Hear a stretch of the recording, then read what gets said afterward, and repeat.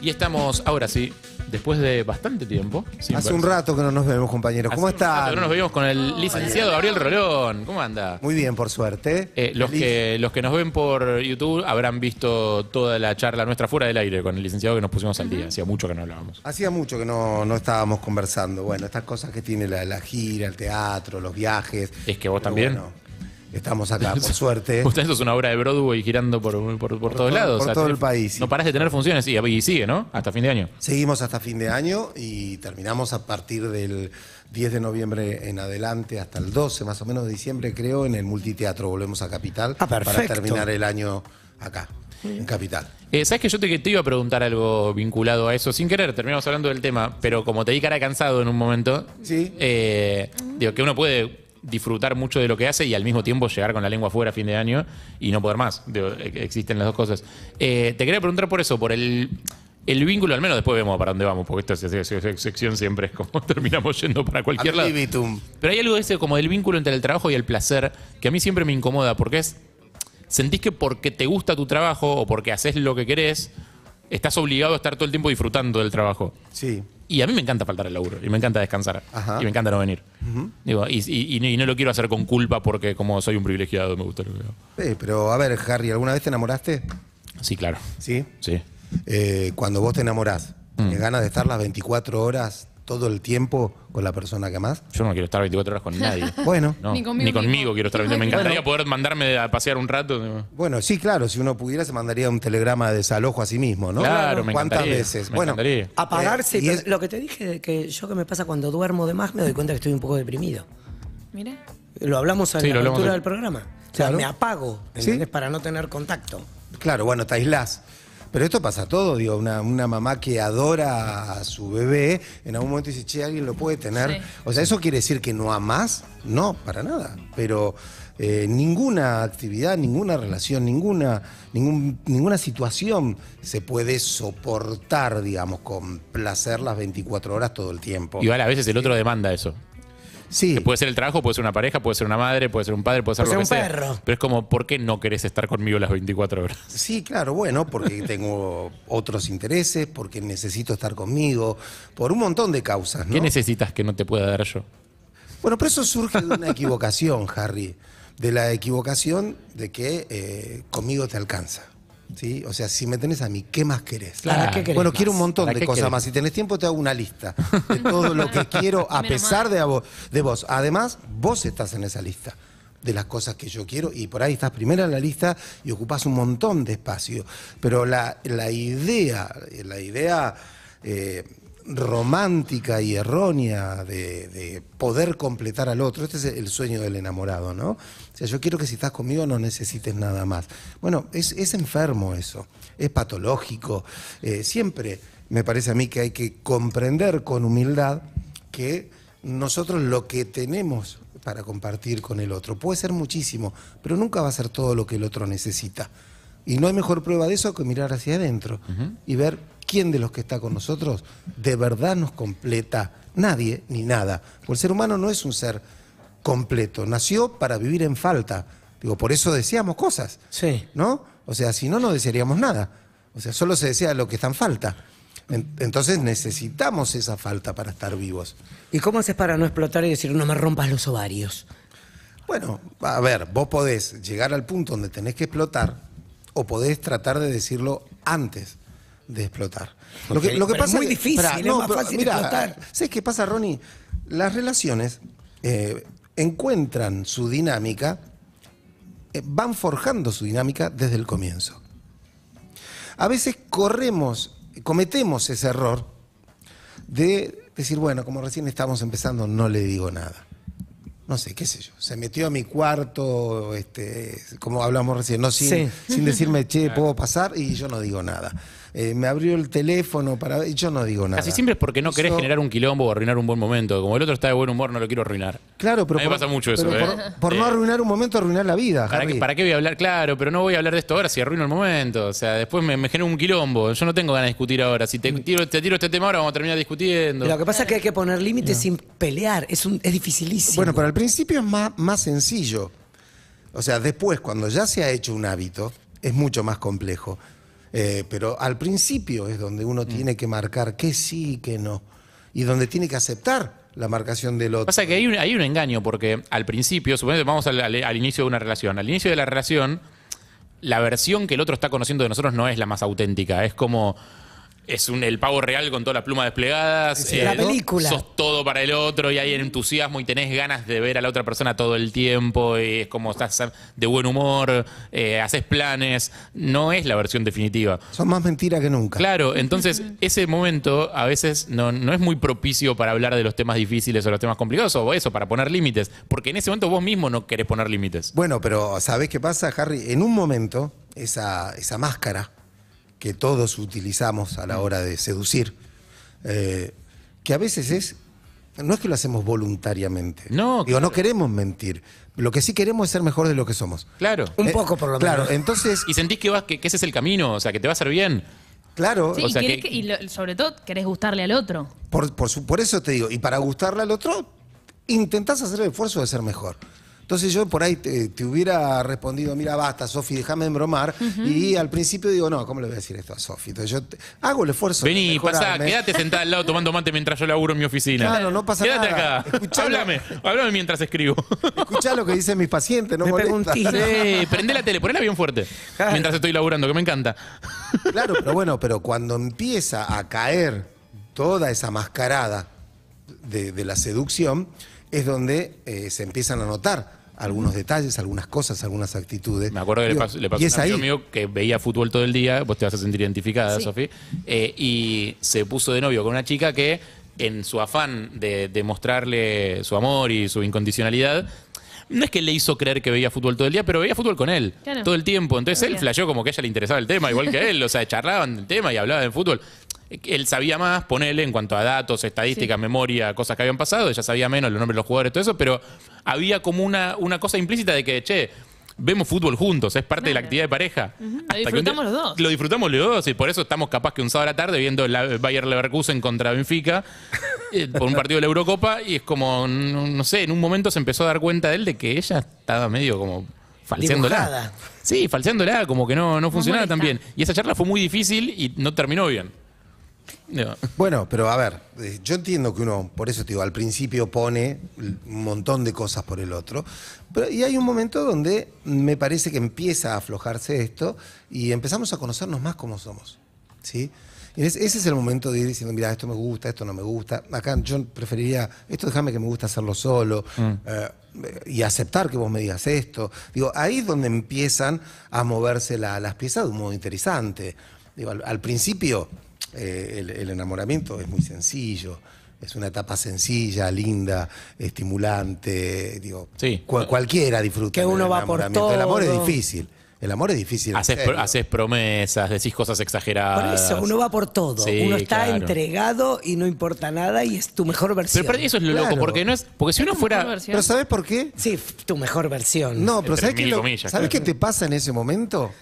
Lo que te pasa es que el otro es fatalmente más importante que vos en el enamoramiento. Sí. el otro es todo. Claro, El otro es todo. Claro. Entonces vos no tenés problema en ceder porque estás con. Estás en con, función con del todo, otro, Estás con claro. Dios. Sí, ¿entendés? claro. Es Estás con el que te completa, con el que te enamora, con el que te hace el amor, con el que te emociona. Entonces, ¿qué, qué, te- qué ¿Con quieres? quién Tengo que mirar fútbol, miro estar? fútbol. Claro. Ir a escuchar rock, voy a escuchar rock. Digo, eh, ahora, en la medida en que pasa el tiempo y uno tiene la sabia decisión de ir recuperando un poco de amor para uno mismo, digo, De de, amor por propio. uno mismo. De amor propio, Sí. ¿no? Digo, bueno, listo, ya está, sos encantadora. ¿Qué hago yo viendo Pero este no sos partido de mierda? Por ejemplo, No, no sé ni quién está jugando, claro. por ejemplo. Bueno, pero lo, lo loco es que si vos me decís que delineé una estrategia para seducirte, Sí. entonces todo esto es parte de un acting que yo estoy haciendo porque quiero conquistarte, entonces finjo, finjo entre comillas, con, con- como estrategia, digamos, Sí. que algunas cosas me gustan para atraer tu interés y eventualmente estar con vos. O para compartirlas. Es ¿no? una cosa, claro. Solamente por el hecho de compartir algo. Claro, eso, eso es una cosa, pero lo que sucede es mucho más perverso para, para uno mismo. Porque en el momento vos realmente sentís interés por esas cosas que después en el fondo no te van a interesar. O sea, hay algo, o sea, vos realmente querés compartir el mundo del otro y sentís que, que es auténtico eso que está pasando. Sí. En el momento de la- del enamoramiento, no del amor, en el momento del de enamoramiento. eso. Recontra y te quedás afuera si no estás. Entonces de repente pasa que te encontrás haciendo salidas que no son las tuyas. Si a la otra persona le gusta ir a boliches, por ejemplo, y a vos no, vas a boliches con la otra persona. Pero no lo haces como parte de una estrategia. Es como. mm, En algún lugar de tu cabeza realmente crees que. Bueno, eso, no, porque, pero ¿sabes por qué? Es la realidad. eso te está gustando. Es la realidad. No, ¿Crees porque, porque lo que te está gustando es estar cerca del otro.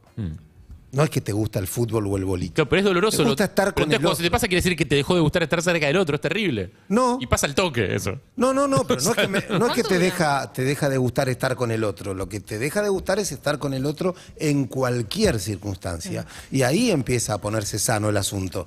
Porque, eh, digo, al principio uno tiene una incondicionalidad patológica.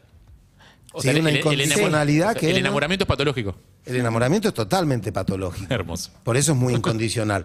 Porque yo voy y ¿qué- qué- ¿a dónde querés que vaya? Digo, yo, mm, suponete, a escuchar rock, voy a escuchar rock.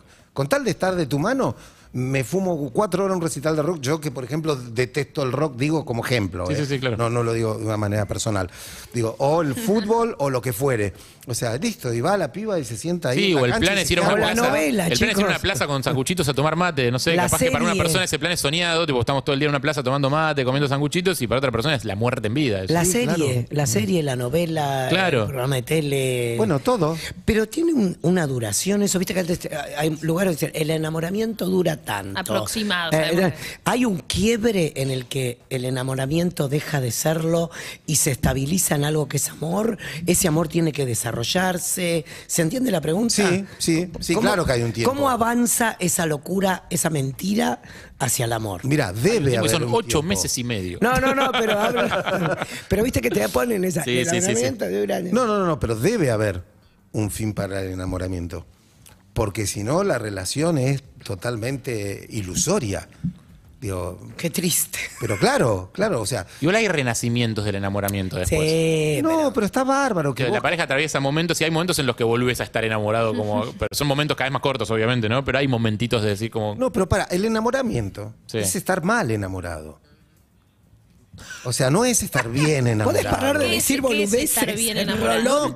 Es estar enamorado Dios. en un lugar incorrecto, el enamoramiento, porque es de un grado de, de falsedad y de ilusión lo que uno percibe del otro, que eso que te está enamorando no tiene, pero absolutamente nada que ver con la persona que está. Es estar drogado. O sea, cuando se te pasa Ay, el efecto de la droga, te queda, una, te queda una resaca y no Claro. entendés bien qué pasó. Claro. El amor también es estar con alguien que no es lo que vos crees.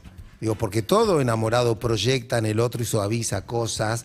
Entonces, viste, yo te presento a alguien y viste lo que es, ¿no? Y vos por dentro decís, Dios. por Dios, qué, qué- qué qué carácter, qué, qué- qué- qué fea, qué, humos. mala, no sé, qué pedante. Se olvidó de Yo mi digo, cumpleaños porque es muy distraída, Sofi. No es que no me, no es que no me quiere, es que es muy distraída ella. Bueno, pero yo te digo, viste, y yo para yo lo que veo es divino y lo que vos ves no. Claro. Y entonces también el amor implica este detalle. Qué, qué horrible que es eso para los grupos de amigos. Cuando el grupo de amigos ve que, Te baja el dedo. que cuando, cuando ve que la otra persona está tipo metiéndose en una que no que lo que va a terminar mal y vos ya lo sabés y la otra persona igual tiene que hacer su propio recorrido y es terrible porque es como ya Pero vos sabemos cómo va a terminar esto. Tuve amigos que me bajaron el dedo con Pablo ¿Ah, sí? y ¿En sin serio? embargo, mirá cómo la Mirá de quién se burlaron, Pero Giles. pará, ¿por qué te, ¿te acordás por qué te iban a bajar el dedo? No, pero no es para vos, eh, no viene, de- o sea, viste que te dicen esas Sí, cosas, mm, sí, la gente sí. opina sobre lo que es tu relación al principio. Y me decían, no es para vos, no lo veo que vayan a durar. Claro, digamos, digamos, Pero- digamos que era un, un fan. Bueno, Era un fan tuyo. Era un O sea, fan mío, era es- un fan de la había, había elementos para pensar que no iba a Bueno, durar. pero, pero a ver, pero eh, Harry, un fan te ama, claro. ¿ok? Lo difícil es amarlo O sea, de un alguna fan, manera. un fan Sí. empieza desde un buen lugar, Sí. que es que te ama y te idealiza. Digo, dos condiciones Te admira. importa- importantísimas para construir un vínculo. Te admira. Respetar, admirar al otro. Sí. ¿Sí? Sí.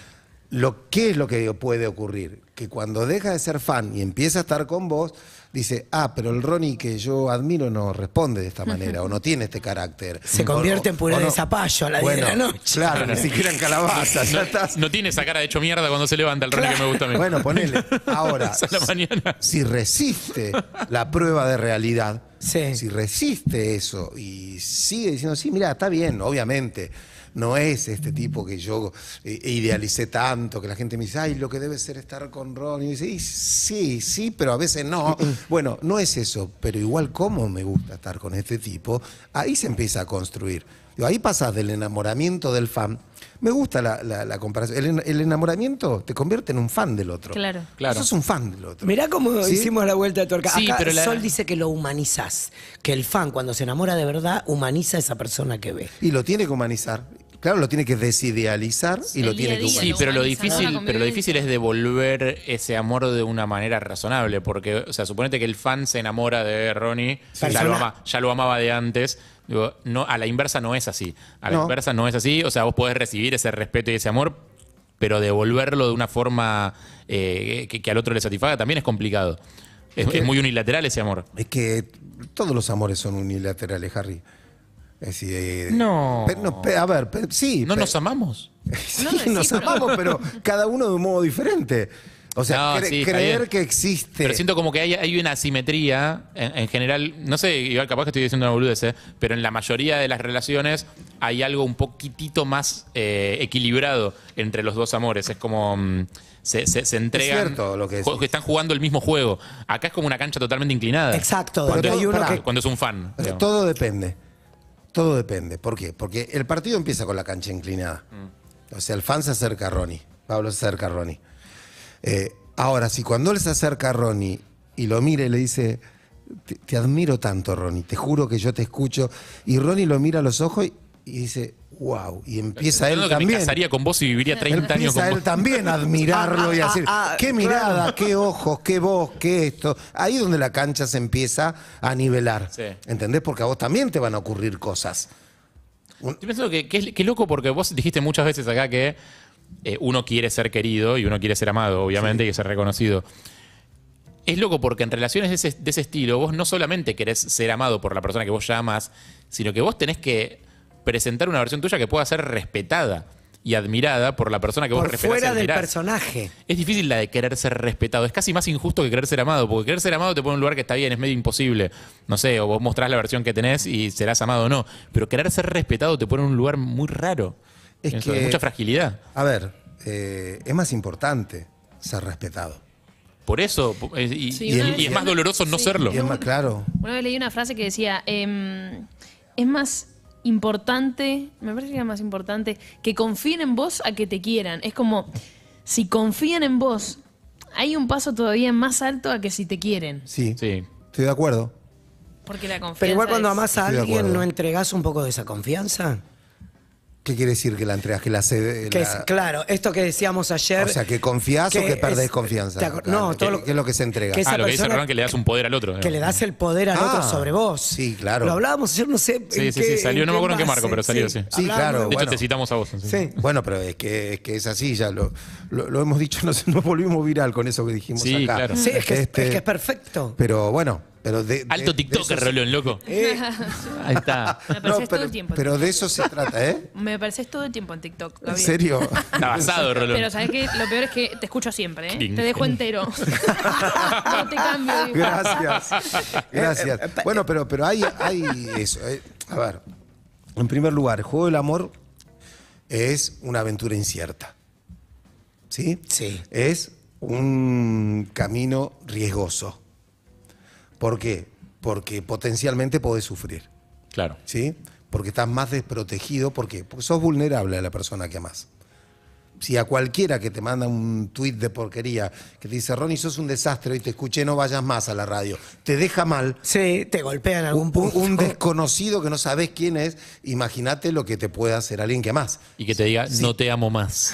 Bueno, Ya no te quiero. puta te. Para, y una cosa que, que me resultó muy interesante es que eh, una vez en terapia, en el medio de una separación, mi terapeuta me dijo, Opa. en una relación siempre hay uno que ama más.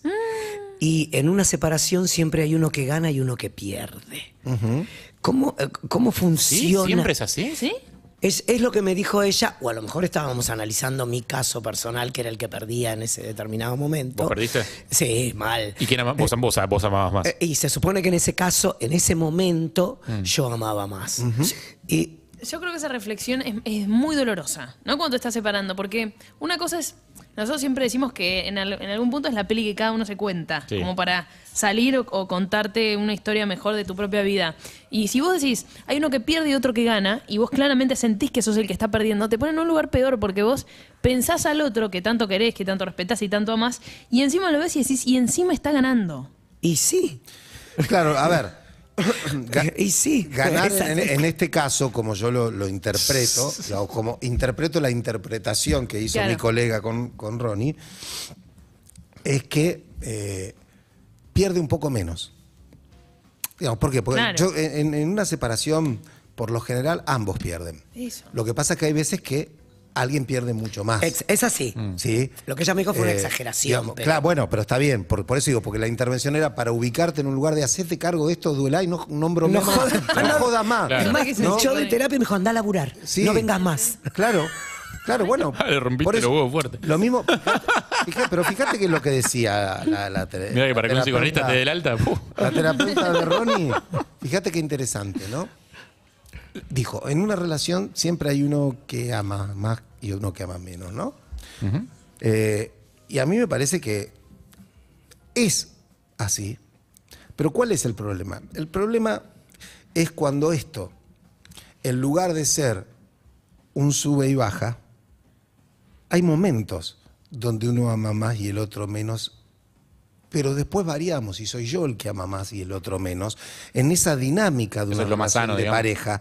Claro, digamos, eh, casi podría ponerte, mira, una, una metáfora un poco errónea, pero me parece descriptiva.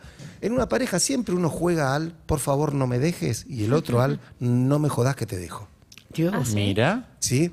Es como que inconscientemente se van pasando. ¿No se cristalizan esos roles? O sea- bueno, ese es el problema. Que, El hay, que hay uno que siempre es como, si, si seguís así te dejo. Bueno, el, el problema es eh, cuando se Cuando cristaliza. se cristaliza. Porque ahí sí, Ah, ahí sí queda establecido. Vos sos el que ama más y yo soy el que ama menos. Por ende, si de- dijimos ac- acá mismo que amar es darle un poder al otro y yo te amo menos que vos, vos me das más poder, yo tengo Claro. más poder sobre vos que vos sobre Claro, mí. claro. Eso establece una relación patológica.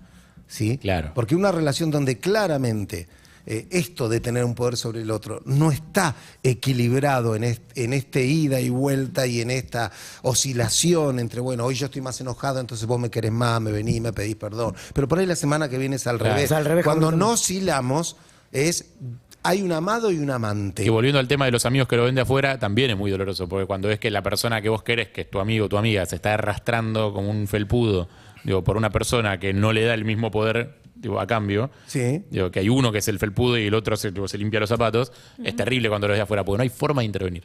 No, No hay forma, manera, no hay nada forma que de decirle, podés dejar a ese sirve". imbécil, o sea, no hay forma. Es que nada que te digan sirve. No, Porque vos pedo. estás en medio de esa cápsula, encerrado, en ese perdedor, dolido, lastimado, No, sos el perro felpudo, abandonado. sos- lo- lo sos, Que, no, o sea. que, que eso es un clic que tenés que hacer vos solo. Mira, hay una sola intervención Ah, mira. que yo podría hacerle a un paciente que se arrastra de esa manera para pedir que, le- que lo dejen volver a la pareja, que este, que, que por favor lo quieran, que no, no, no. Que no lo dejen. Yo voy a cambiar Que ya sabemos por que está vos. todo roto, Decir- Porque lo peor es que el objetivo de mínima es muy bajo, es que no lo dejen. Claro, no es ni siquiera que lo amen. No, y ni siquiera es como, hay no me dejes. no hay de dónde Tipo, agarrarse. Pedime lo que no quieras, que yo lo voy a Ay, hacer. me, me angustié la puta. Bueno, madre.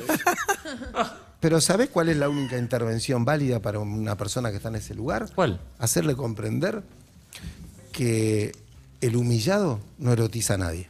Claro. Nada. N- Nadie se erotiza con un humillado. Bueno, ¿Sí?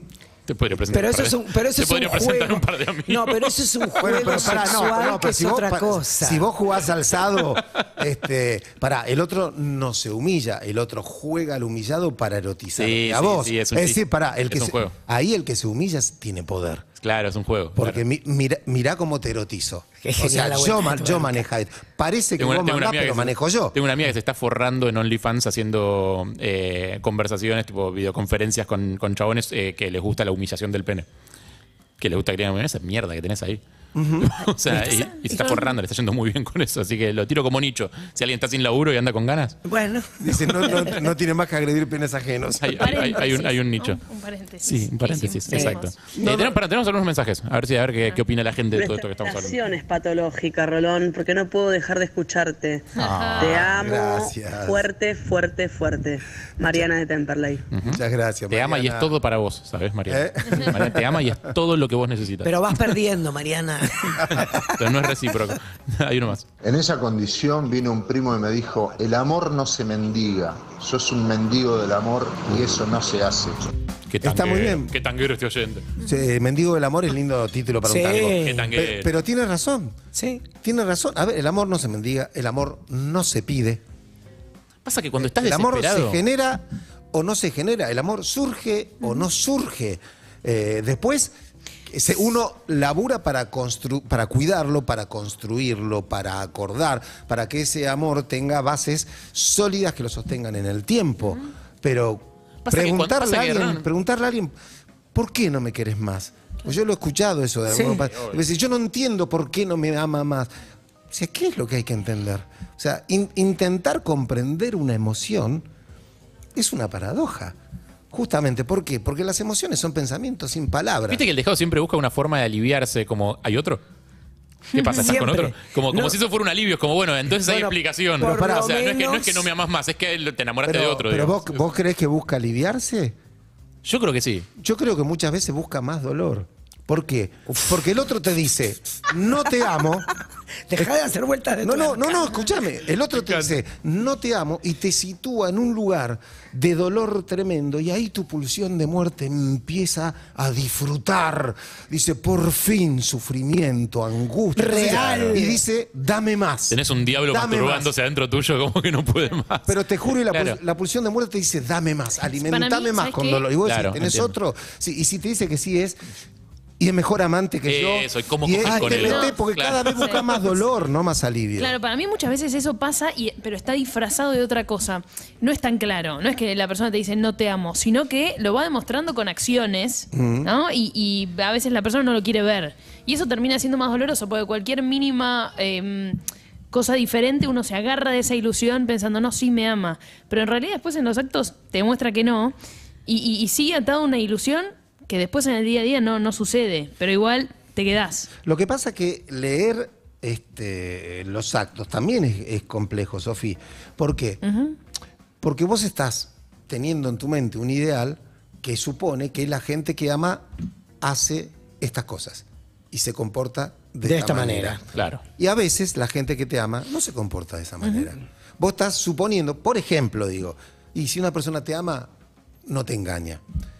Y a lo mejor estás con alguien que te ama desesperadamente e igual te engaña. Pero ¿y entonces vos decís, con su acto me demuestra que no me Pero- ama. pero esto no te demuestra que no te ama. esto no estaba en el demuestra- manual. Te demuestra que no, Claro. no pudo ser fiel, que le gustó una persona que se dejó llevar por el deseo. No te demuestra que no te ama. Te demuestra otra cosa. Entonces es difícil. Pasa que vos con O sea, tu código además- interpretás eso como desamor. Claro, bueno, pero vos. Pero no tiene que ver con lo cultural. Ah, tiene que ver con Sí, el obvio. vínculo que también cada uno elige. ¿No? Porque, mi- porque eh, por ahí puedo pretender no tener tu amor o, o Ay, elegir no tener tu amor, canción. por ejemplo. Pero sí un vínculo que me haga bien. Y digo, si no me Bueno. hace bien que vos me engañes, prefiero no tener tu amor desesperado Sí. y tener un vínculo en el cual yo pueda vivir de manera cosa. más Me, feliz y tranquila me- en el día a me día. parece una gran decisión de tu parte. Te felicito. me parece una gran Tenés el decisión. alta. ¿Sabes qué? Me voy. No, porque, No. porque ¿sabés qué es lo que estás diciendo vos? ¿Qué? Yo quiero una relación que me haga bien, no una persona que me ame. Y que me Y eso es muy difícil de asumir y de decir, porque Claro. a veces creemos Claro, claro, que claro. la persona que nos ama siempre nos va a hacer bien. Claro. Y hay amores que te destrozan, te llevan por delante. Yo creo que en el fondo el problema de la trampa es que sentís que nadie más te va a amar. O sea, que ese amor que conseguiste es lo mejor que te mereces y es lo mejor que te va a tocar en la vida, entonces tenés que aferrarte a eso porque si lo perdés, lo que hay después es el vacío. Nadie más te va a amar nunca. Sí, Entonces te quedás en algo que te hace mal, un poco porque la pulsión de muerte, porque está el diablo adentro diciendo como, quédate, dale. Quédate, quédate. Quédate, quédate, que está no bueno, quédate, que eso está así, bueno. Harry. Yo no creo que sea tan así. No es que nadie más te va a poder amar así, sino No, no, no digo que no digo que vaya a pasar, digo que uno siente a veces Sí, que es pero como yo- tengo que quedarme acá porque si después viene el abismo, o sea, si, si yo si esta persona me deja no, no voy a volver a encontrar el amor. Pero ¿sabes qué pasa bueno, cuando eso para pensás mí es así? diferente, ¿no? Es diferente pensar en no me va a volver a, a- a pasar a mí algo tan lindo como lo que vivimos juntos o lo que me hiciste sentir vos, a no va a haber otra persona que sienta y que, que me ame de esta manera. Claro, pero vos acabas de decir algo muy interesante. Ay, gracias. Eh, de decir. Aclaro que le está hablando a Sofía, por si estás Sí, escuchando a la radio, yo no. Sí, Yo. Lo dijo a mí, No, no, perdón, ¿eh? por- Porque Gracias. parece que Sofía dice cosas No, interesantes no, nada porque más. dijiste, ¿Sabes que sí? dijiste, No, eh, nadie me va a hacer sentir como me hiciste Claro. sentir vos. No como me haces, ¿no? Claro. O sea, No, jodido, u- u- Rolón. ubicaste el dicho en el pasado. Entonces vos ya no, ya no me interesás vos, me interesa aquel que me hizo sentir de esta manera, que ya no sos Acuerdo, vos. claro, que es Entonces yo estoy con alguien enroscada, eso, Sofía. por lo que fue en el pasado, yo estoy con alguien por lo que ya no es. O sea que vos también sabes que se terminó la relación. Obvio. Obvio. Entonces, ese es el punto. El que tema, es, el bueno, tema es verlo, claro. No, claro, ya sé, Sí. pero lo sabes. No, pero ¿sabés qué pasa? Vos sabés cuándo te tenés que ir de la fiesta, pero te quedas un rato más, boludo, viene un amigo y te dice, tomate una birrita más y te la tomás y sabes que es un error, ya te tendrías que haber ido. Sí. O sea, te vas a quedar a ver cuando sale el sol, cuando salen todos los zombies. Bueno. Te tenías que ir antes. Bueno. Cortázar decía, las cosas siempre duran un poco más de lo que deberían. Y ¿no? claro, sí. Y sí. Este, y en el caso del amor se da mucho eso, que es que... En el caso del sexo no tanto. Uno, Es al revés. en eh, digo, en el caso del amor se da porque eh, justamente uno se aferra a pasados. Mm, ¿sí? claro. Ah, pero yo quiero que volvamos a ser felices como fuimos aquel, aquel viaje, cuando nos conocimos. Yo quiero que recuperemos, quiero un montón de cosas que no se puede.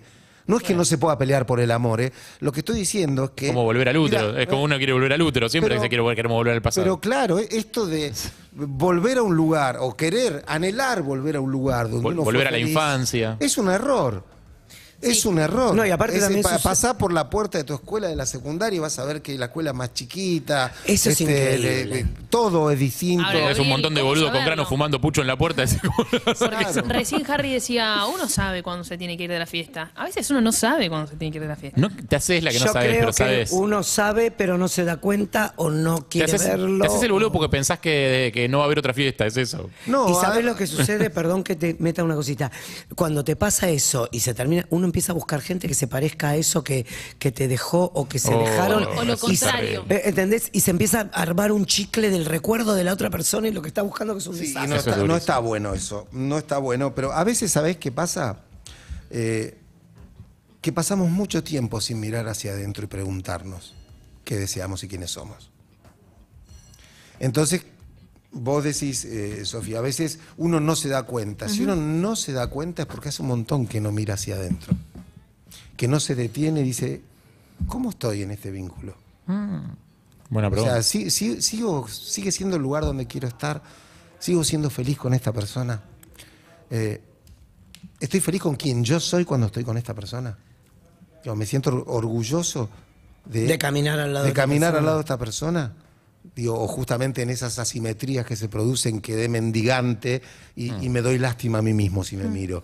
Digo, yo creo que es, es una, una pregunta que debemos realizarnos, pero bastante seguido. Bastante seguido. Bueno, es una, es una invitación a que todos los que están escuchando se la hagan entonces. pero por en, en el mejor de los casos va a ser una respuesta positiva. Digo, sí, estoy feliz de estar con esta persona. Y en algún caso capaz que se despierta alguno. Pero, claro, porque y, o a lo mejor es sí, mirá, la verdad, yo quiero estar con esta persona, pero no como estamos en este momento. Entonces habrá que hablar. ¿Y qué pasa cuando estás en el otro lado? Cuando no sos el que se humilla, sino sos el que tiene que dejar, el que tiene que tomar las riendas y decir, esto no va más. Y la otra persona se te empieza a arrastrar, porque tampoco debe ser fácil. No. No. No, porque. porque, Porque nadie se erotiza con la humillación. no, no, Porque, claro. porque no está bueno que ver a una persona en esa posición, claro. Pero vos sabés que eh, lo peor que vos le podés dar a alguien, casi te diría que el antónimo del amor no es el odio, es la lástima. ¿Sí? Entonces lo peor que vos podés hacerle a alguien es quitarle el respeto. Porque cuando vos le tenés lástima a alguien, le está faltando el respeto. Porque es bueno, aunque no te quiera, por lástima. Lástima a nadie, maestro. con vos. Lástima a nadie. Claro, bueno, no, no, es que, Entendido. ¿sabés, ¿sabés qué pasa? El, el punto, Sabía el Diego. el punto es este, es, Claro. ¿sabés qué pasa? Mira, vos tenés derecho a estar con alguien que te ame como vos te mereces y yo no te amo así. Entonces yo te tengo que dejar libre por respeto a vos también. Pero vos porque estás si me quedo por en culpa, vos, por no estás lástima- pensando en mí. Vos me estás dejando porque pensás en vos, porque tenés otra o porque querés hacer otra vida, pero no pensás en mí. No, Estoy eh, no, es que yo estoy pensando en vos. O sea, vos no podés pensar en vos. Vos no podés ver que mereces Ay, ser qué amado y lindo que te tenés deje dignidad. Rolón. Estoy para que me deje Rolón. Quiero que me deje Rolón. Estoy para que tengamos una, una relación larga, duradera, que nos amemos mucho y después me dejes. Es como siento que es, como, que es una experiencia que hay que atravesar Pero- en la vida. es pero- como saltar en paracaídas, ¿viste? Es No, como, pero te juro qué que bueno, boludo. Yo querría, pero, pero de- ¿Dejarme? no, no, no, pero de verdad, si, si me toca que me dejen, yo quiero que me dejen así, de pie, digno, que alguien mirá, sos un tipazo, flaco, sos divino, y ¿sabes qué? Mereces a alguien que, te, que tenga ganas de estar con vos. Yo no soy en este Que te momento. rinda. Claro. No o sea, soy yo. Vas a sufrir igual, pero por lo menos con dignidad. Pero además con respeto, porque no es lo mismo basurear a alguien, agredirlo, que decirle, mira, yo no te amo más, yo no quiero estar más con vos desde el amor, pero no sabés cuánto te, te respeto, cuánto te banco, lo digna que me pareces como persona. Lo, Es te igual reser- cuando te dejan que te digan lo digna que sos como Sí, persona. sí. ¿Sabes qué? Es una patada en los huevos. La derrota Bueno, digna, que eso, los Pumas, boludo. Pará, cuando te dejen sí, pero cuando resignifiques esto un tiempo después, sí, vos, Te va a vas a, funcionar. vos vas a agradecer a la persona que mirándote a los ojos Sí. tuvo el valor de decirte, mira, yo no quiero estar más en esta historia, pero no sabés cómo valoro lo que viví con vos, porque vos te mereces a alguien que, que esté con vos. Yo no soy en este momento, pero no te olvides nunca de que vos te lo mereces, pero no te hago como un chiste, como para salir elegantemente. Cuando uno habla con la verdad, con la dignidad que siente por él. Porque hay, hay parejas, exparejas, que se llevan bien y otras que se llevan horrible. Porque hay parejas que se respetaron, que se trataron con dignidad aún en el desamor. Fito Páez, señor. Por ejemplo, Ahí está. por ejemplo, un tipo que debe haber sido realmente muy, muy digno y haber tratado con mucha dignidad a sus parejas, porque todas sus parejas lo, lo quieren, lo respetan, él también las Y quiere, los maridos, de, por ejemplo. Los maridos de la sex también, Pará, claro. eh, hay una historia muy graciosa. Eh, Cecilia estaba casada con Gonzalo, Cecilia lo deja a Gonzalo por Fito, y hoy Cecilia y Gonzalo son súper amigos de Fito y Claro. están ninguno de los tres tiene. un- Porque se respetan, viejo. Se respetan como lo respetamos y lo amamos a nosotros, a- a- al señor Gabriel Rolón, que viene acá y que nos regala su tiempo con esta generosidad inmensa eh, a nosotros y a todos los oyentes, que ahora deben estar haciéndose esta pregunta y algunos se encontrarán con que quizás la respuesta no les satisface tanto, pero la verdad estaba ahí de antes. No es culpa de Rolón eso. Eh, la verdad ya estaba ahí y vos te estás haciendo el boludo o la boluda, claramente. Eh, Gaby, ¿cómo sigue tu gira? Eh, la verdad, no sé. Sé que voy a La Plata, a Lobos, eh, la semana que viene, creo. Y me quedan dos fechas de gira y después volvemos a partir del 10 de noviembre en el Multiteatro. Ahí Comafi. sí, en el Comafi sí, ahí ya están las entradas en venta. Por Plateanet. Eh, por Plateanet, exactamente. Así que eh, estamos con las dos giras que nos quedan y, y a, a afrontar el Multiteatro con todo para despedir el año. todavía. Palabra plena con Gabriel Rolón. Licenciado, muchísimas gracias. Gracias a ustedes, amigos. Nos vemos pronto. Gracias.